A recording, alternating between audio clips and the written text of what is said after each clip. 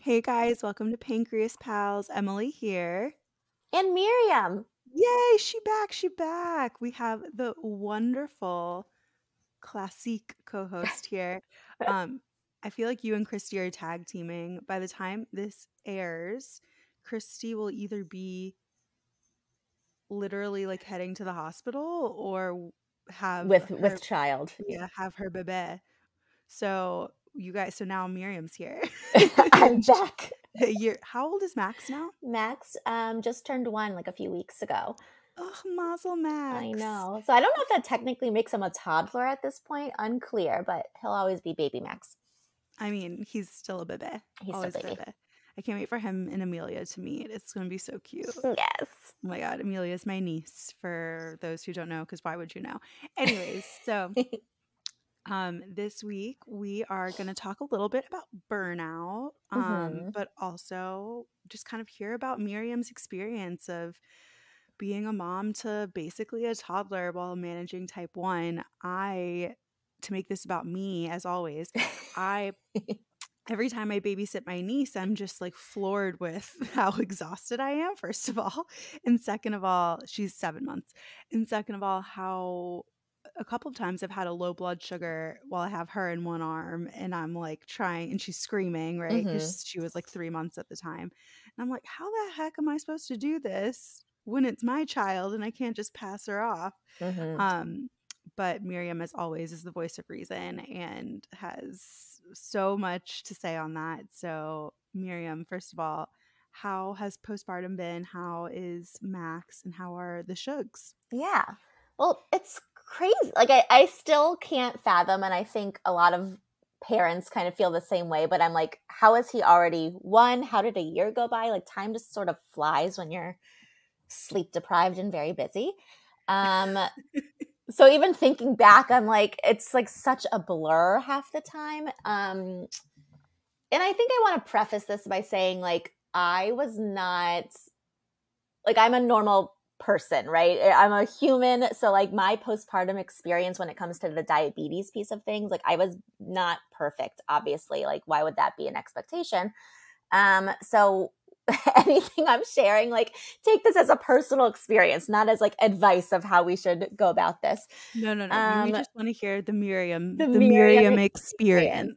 Um, but I think when I kind of tried to take a step back and think of it as a whole, I think what helped me manage the best is that I had a really solid routine or system set up for myself before I even got pregnant, right? So like before I got pregnant, I was already had a good sense of like what foods were easy to eat, what how they affected my blood sugars, like you know, I just got a, had I was more confident in management. I really tried to tighten things up um in terms of how I corrected blood sugars, how I treated low blood sugars, things like that. So then obviously going from like that pre-pregnancy state of paying more attention to your diabetes, the pregnancy state of being like hyper vigilant and aware of your diabetes, and then you shift to postpartum where it's like your brain cannot possibly like have time to even think about your diabetes because now you're taking care of another human. Um the reality was diabetes was majorly on the back burner for me and I was okay because I had such like a system set up for myself already. I have to give a lot of credit to Tandem. I was on the Control IQ with uh, my Tandem pump um, and the Dexcom, so that helped a lot. And I will say it allowed me to be sort of like lazy and not pay attention to my blood sugar because I had that like that net really. For those who don't know, Control IQ is when your continuous glucose monitor, and in this case, a Dexcom, communicates with your insulin pump, which is the Tandem. Um, and Mhm. it's actually like an integrated system where you just have to input a certain amount of things, like your carbs or whatever, Yeah. and it kind of you set parameters and your blood sugar Yes. ideal range, and it kind of just takes over for you a little bit. I'd say. Yeah, it's it's like a good support um like a safety net I'll say because it's obviously not perfect, but they call it the you know the closed hybrid loop um or hybrid closed loop something like that. So it suspends your basals if it your blood sugar starts going low. It gives you like correction boluses if it sees that you're going high. So it really helps you not it allows you to not pay attention a little bit, which was really crucial for me in the postpartum phase. Um, and so that was my reality, right? I like was not paying attention to diabetes. Um, and I still was okay. Um, obviously, by the way, yeah. Miriam not paying attention is also not the same as like high school Miriam not paying oh, attention. Oh, hundred percent. This is a hundred percent. Like I was obviously still like giving boluses for when I ate. I was obviously still treating low. You know, obviously I was still doing the bare minimum. I think is a better way to put it. I was doing the bare minimum to sort of like survive while I was dealing um, with a newborn. And some like weird, tricky, like diabetes, mm, you know, sciency things that happen in the postpartum period is that like obviously in your not obviously, but you know, we've discussed this before. In your third trimester of pregnancy, you are using so much insulin. And then as soon as you give birth, it's like reverts back to less insulin than you were using even before you were pregnant. Like it's kind of crazy how rapidly that shifts. So you it's this whiplash feeling of like, okay, this salad I used to when I was in my third trimester, I would have had to give like 10 units of insulin for now I salad. Let that sink it, in, people. Crazy. And so now it's like, okay, something I a week ago I was giving 10 units of insulin for. Now it's like one in, unit of insulin. It's just like it's so dramatic. Um and honestly it was kind of like nice. Like you feel like you you're so sensitive right after pregnancy that it felt like I could like eat a whole lasagna and like be fine. You know, it was it's, not weird... a recommendation, but still. but it was it was kind of crazy. And that I mean, obviously that does not last forever, unfortunately, but it was nice. All the things I had sort of avoided in pregnancy, not because I couldn't have them, but because it was just too stressful for me to have them. So things like pizza and bagels and donuts and like things that were just easier for me to avoid to um, during pregnancy, so I didn't have to worry about the carb count. Now I was really indulging in that, and so it felt like a nice treat after pregnancy to be able to indulge um, and feel like kind of enjoy those things guilt free. Um, not that there should be guilt associated with it. I feel no. like I'm just like a walking walking disclaimer. disclaimer. um, but okay, so postpartum sounds dope, but how is how did you manage like actual like dealing with a baby? Yeah. Yeah, dealing with a baby like okay, we already don't get a ton of sleep as diabetics. Oh gosh, um, yeah. but so maybe you're a little bit more used to that when it's time for a baby, but how do you manage actual crisis moments where you're like yeah you know a freak thing happens where your insulin pump breaks or you're you know whatever like yeah. that and so you know, something my endocrinologist had told me, like right before I gave birth, when we were talking about preparing, he was like, have juice literally in every corner of your home or your apartment because if you're like holding a baby, the baby's sleeping and your blood sugar is going low, you don't you just want to be able to like reach your arm over and grab something. And so I really took that to heart. And so I had juice, like bottles or juice boxes like literally everywhere. Um, Long before Max could have them. yes. Um, exactly. He was like a newborn and didn't know what, what the heck was going on. But I had juice everywhere, um, which was helpful. And truly, I was very grateful. I had a lot of help and people around me during the initial postpartum period. So, like the first like month for sure, I was rarely alone. Um, so that was very helpful obviously having people I could hand the baby off to or could let me take care of things. Um, but that was the biggie, just having juice everywhere. And I think, you know, I, because I wasn't really paying as close attention to my diabetes, I was definitely running a little bit higher in general than I had been in pregnancy for sure.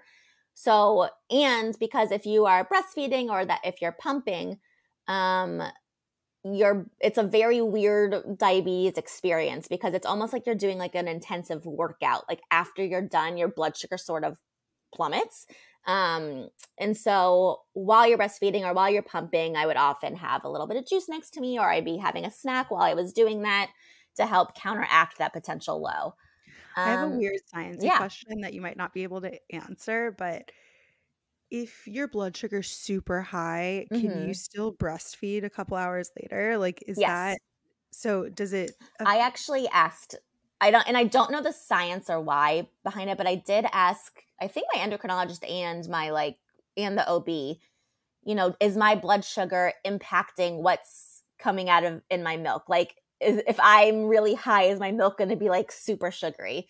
And they said, no, it doesn't really work like that. It's not like, no, that was basically the short answer. And I didn't really ask why, but That's that was valid, a relief. Valid. It's Yeah. kind of like, okay, I don't need to know why. Let's just keep going. Yes. Um, but that's so interesting Yeah. because you know, I I think about it like obviously alcohol is very different than sugar, but you can't drink and then a few hours later, you know, breastfeed. So it's just so Yeah, interesting like- the, the things that filter out.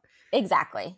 It is very interesting. Um, and so that was a relief. It's like kind of again not something you don't have to worry about immediately. Um, trying to think what else. Like it's I mean in that newborn phase, like I said, I had a lot of help, which was crucial. Um, I also think that unless something's an actual crisis for the child, yes, it's okay to put the kid down for Oh, a second so you can a treat your blood sugar. Hundred percent. Like And your baby so hard to to conceptualize. Like I th- yes, and I think you know it's interesting. I think being diabetic and being like a diabetic parent, I think you are forced to have a different mindset, which uh, is actually very helpful in the postpartum period. Of like your needs are important too because they are literally like important. You have to take care of yourself and make sure you're not super low or you know super high.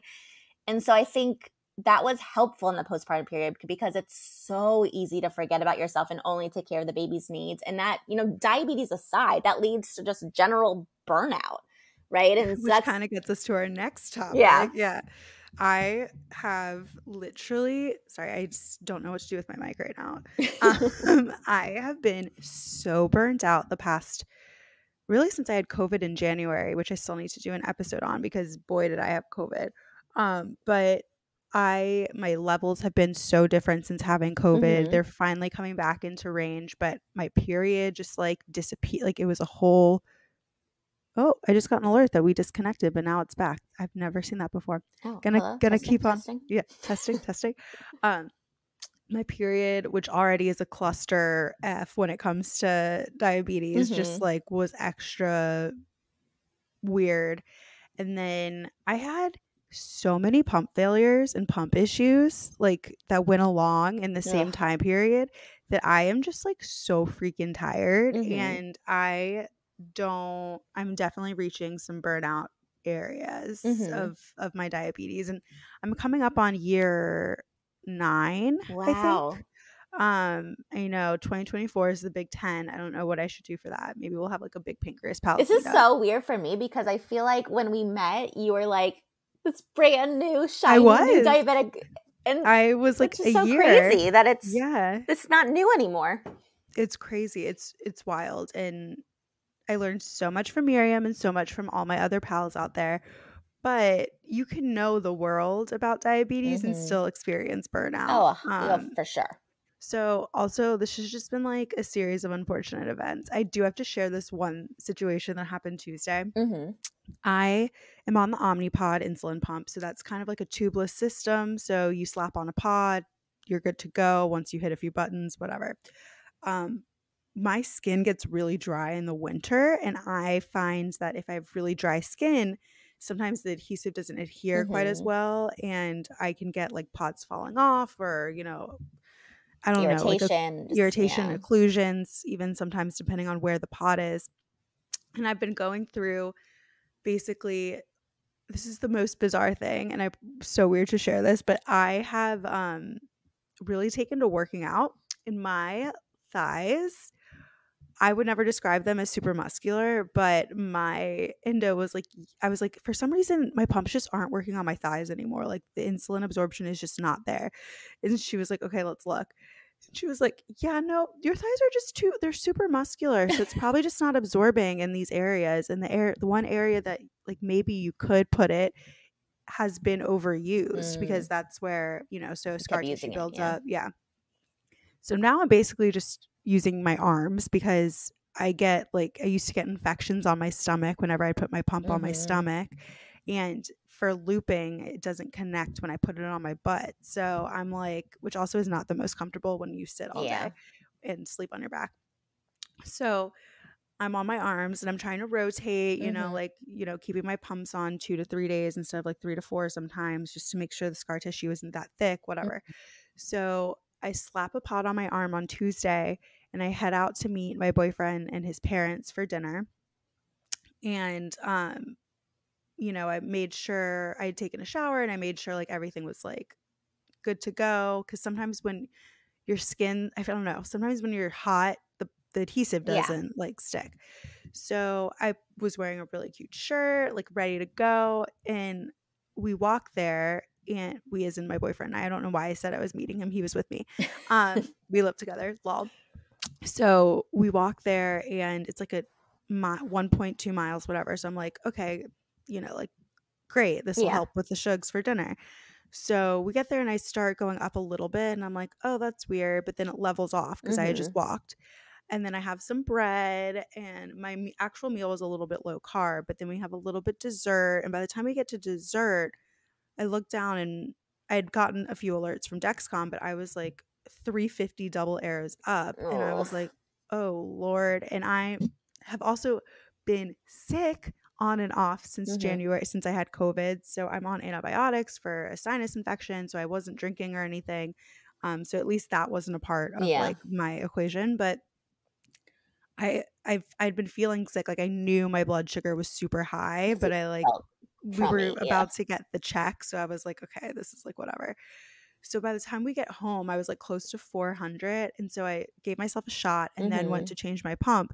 And the freaking pump wasn't in my arm. It's not like the it- it- cannula was just like the cannula out. was just like squirting insulin into my cute shirt and i um i was just like and i had some decent sized ketones and Mhm. i was just like i cannot catch a freaking break because every time i get sick obviously my blood sugars are a little bit all over the place and then i've just had a 2023 as you know i feel like yeah. It's been I a rough needed a start to the Miriam- year. needed a miriam pity party and then to keep moving on Yeah. um head back to the earlier seasons to learn about Miriam's pity parties. That makes it sound like she's having them, but like we just talk about how very it's, okay, it's okay to have them. Yes. Yeah. mhm. it's okay to like be Take frustrated and kind of like accept that sometimes something's crap, but then you know you pick yourself back up, slap on a new pump, and move on. Yeah. Um, but it was just I'm just like so so burned out, also with work and stuff. So I'm just like toasted. I'm so burnt. Yeah. I'm I'm Burnt. toast, I'm a little scorched, maybe even.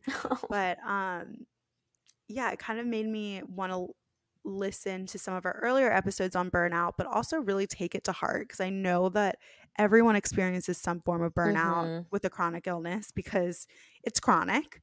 Um, Mhm. And I was kind of like, what would Miriam say to me right now? I had my pity party, but now I need to actually like take on the next day. So, Yeah. Miriam, what are your hot takes with also you've had 27 years 27 years. with Bizarre. type 1. Yeah.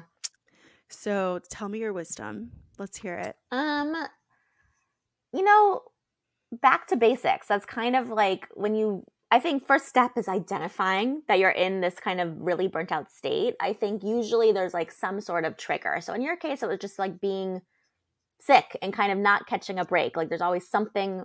You know, you find like you feel like you're getting back to normal, and then something else, you know, crappy Yeah. happens. And so, but sometimes burnout comes if you're like you get all worked up and say, "Oh, I'm gonna, you know, I'm really gonna take charge. I'm gonna be super vigilant. I'm gonna be like really on top of diabetes," and you almost are doing too much, and it feels unsustainable.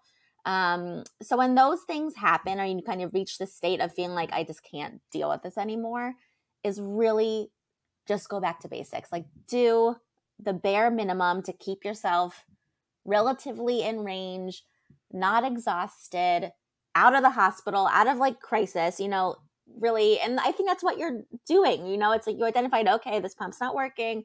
I have ketones. I'm going to go home and take a shot, you know?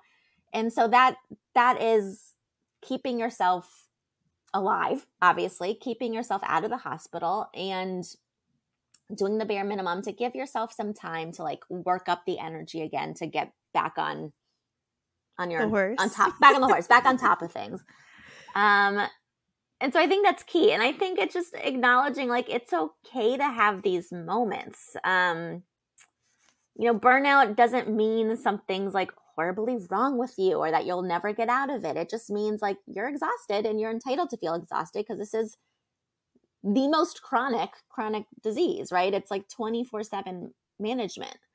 Um and so of course you're going to have moments where you're just over it.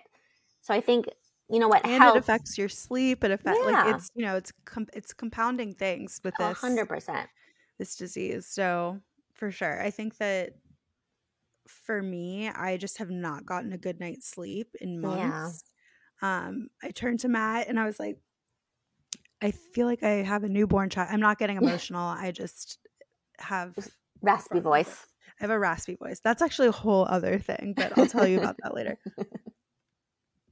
I have a cyst on my vocal cord, everyone. Because that's like another medical thing. I'm I'm okay. I, I just have to get surgery. Yeah, it's like a whole thing. I might have to go on vocal rest for a couple of months. I don't know what's going on what? there, but um should that happen, I will let all the pals know. um right now I'm doing speech therapy to help shrink the cyst. Very sexy cyst on my vocal cord. Um anyways, that was actually a really funny experience getting that found out. But anyways, I just think that when you have multiple medical things going on and when yeah. you have um, so many things outside of your control, like, you know, the pump just literally not inserting. Um, yeah. It's Matt turned to me when we were, he was so concerned because he's like an angel. And I'm sitting here and I'm trying to get my blood sugar down. I'd given myself like a shot and mm-hmm. slapped on a new pad pod, pod and um he was like you know like he's like that just really sucks like there's nothing you could have done and i'm like welcome to diabetes sometimes yeah. like there's so i mean like i wasn't so many things that are in our control but so much out of our control right so for everything that's in our control there is at least one or two things out yeah. of our control and it's yeah. making sure that those things within our control are for the most part managed in a like in a way that's conducive to keeping you alive. Yeah. Where so when things go out of control, when things are out of control, we can still survive. Oh, 100%. So, and I, I think, that's why to kind of you know not to sh- not to put make it all shiny and sugarcoat it, but like can you think of any a more resilient crowd than type 1 diabetics? Like it's no. kind of like you, we're forced to be, well, right? Because like cancer patients. yes. Yeah. Not to be like we have it worse than anyone, but like we're so resilient. And I, I really love that about this community that you like see type 1 diabetics just sort of like living life and persevering and doing things like normal, even though there's a million things going on in our brain all the time. And there's some like quote I always see like all over Instagram, but it's loosely something like just because I carry it well doesn't mean it isn't heavy. And that's always what I think about diabetes. Like, just because on the outside, obviously, it's this invisible illness for the most part, unless you see like all the robot parts, but just because you can't see us, we don't look sick, we don't look like we're like calculating a million things in our mind all the time. It's it's amazing, but it it doesn't take away the fact that it is a lot. It's a big responsibility that none of us asked for. And I'm just like proud of our community. And I think it's really awesome how resilient we are and how we like keep doing stuff, even when it's really hard. For sure. And when I get like super burnt out, um, I think another, you know, the community is such a good place for me to turn. Mm-hmm. There are, you know, a lot of there's a lot of sugarcoating, but I think people are getting better about showing the highs yes. and lows and you know, I actually have a friend from college who was recently diagnosed mm-hmm. with type 1 um, at like 25, I think. Mm-hmm. And she's a bit younger, lol. And um, she has been like plowing through our episodes and we've been texting about mm-hmm.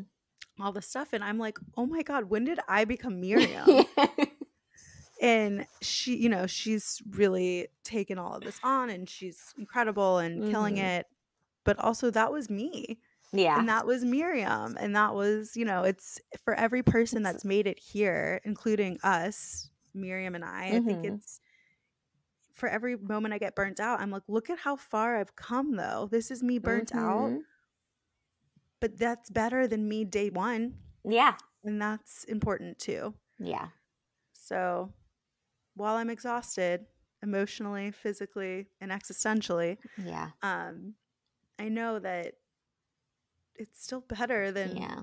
being back to square one. So 100%. And I think something that helps when you're in these like tougher periods or tougher chapters is if you even if not even if you're feeling the most pessimistic as long as you have that glimmer of a hope that you believe that you know this is temporary, right? Like diabetes we we can't say it's so temporary unfortunately yet, but this feeling of burnout I hope you can believe that it's temporary because you've had these hard chapters before and they've been temporary. So there's no reason to think that this chapter also won't be temporary. And so just knowing, like, okay, I won't always feel this way.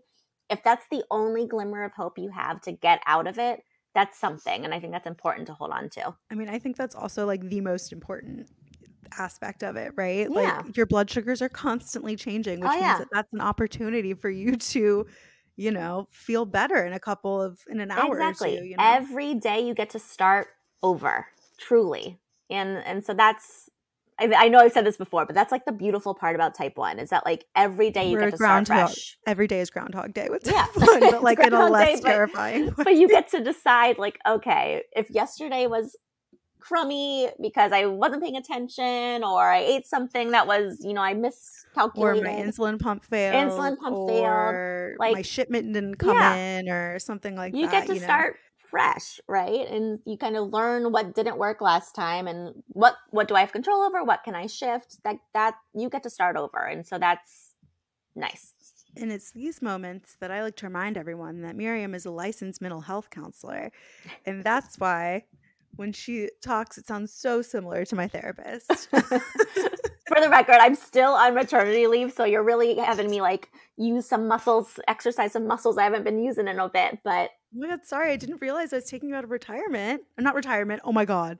Oh my God, the moms are going to come after me. Oh my God, I didn't mean to say retirement. I'm so sorry. no just a leave. Maternity leave. Uh, I'm going to edit leave. that out because I hated that for myself. But no, it's real. Um, but yeah, it's nice to kind of exercise these these therapist muscles a little bit again. Um, do you think you'll come back to it? to there, oh, a hundred percent. It's just you know living life with a with a baby, and I'm enjoying it. I like love being home with him and have, and I'm fortunate that I have the opportunity to kind of stay home and spend time with him. But now that he's turning into a little toddler, it's like, all right, some space between us could be nice. LOL, yeah. I I have to maybe I'll like post some pictures of Amelia on Pancreas Pal so everyone can see. She is at the cutest age, but I guess at once they're more aware, like I think once they hit six months, They have like a little personality coming she out. has yeah, it's so such a fun. personality. She has two little teeth on her Mhm. bottom, and she is the happiest baby. She's constantly smiling.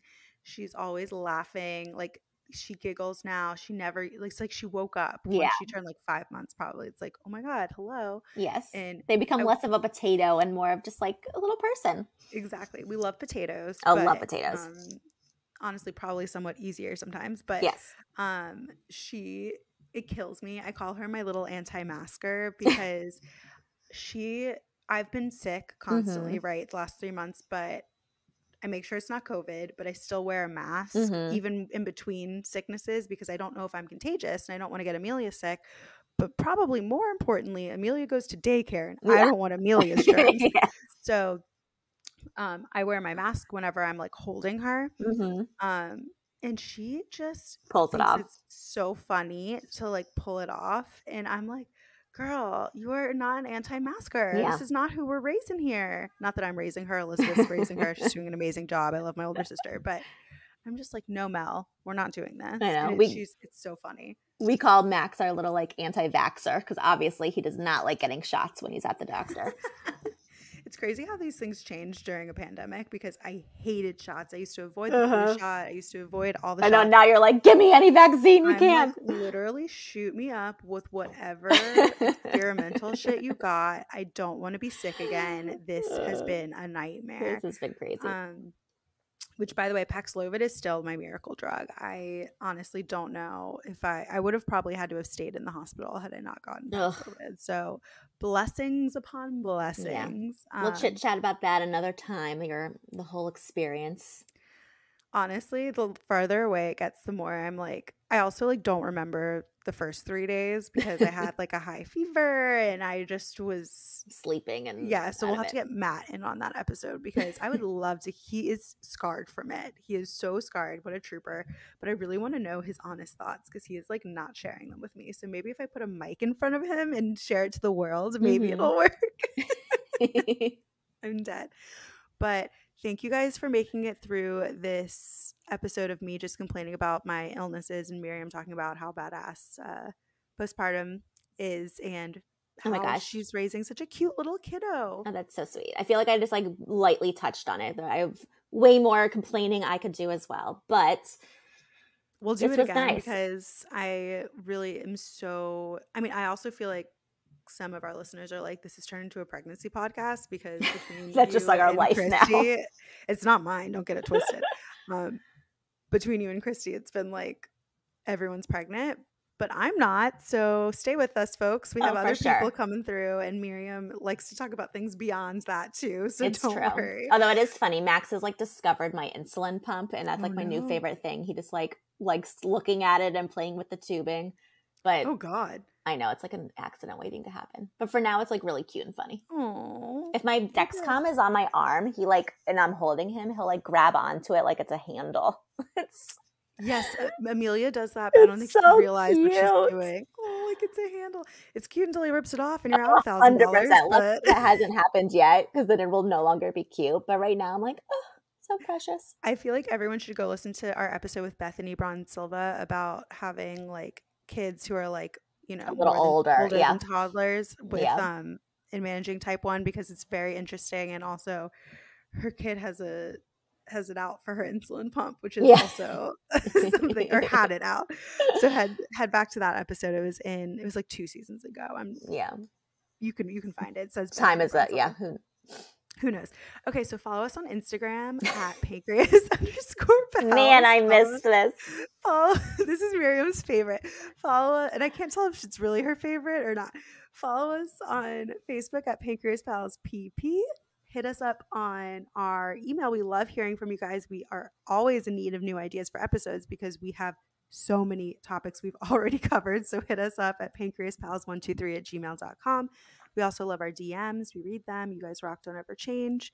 Um, we'll be back with another episode soon. So get ready. It's season 10, people, and we are here for it. Let me just make sure it really is season 10 because I can do that on my own time. I'll cut it out. Um, have a great week, everyone. And Miriam, I love seeing your face. I love seeing you too. I missed you. I missed the pod. Hi, everyone. Bye, everyone. Talk soon. We'll have Max on soon. Yes. Bye. Bye.